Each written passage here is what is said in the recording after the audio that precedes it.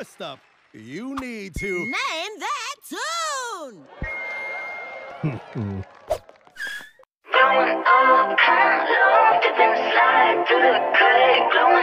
Oh, that's too easy. It's. Wait, I know this.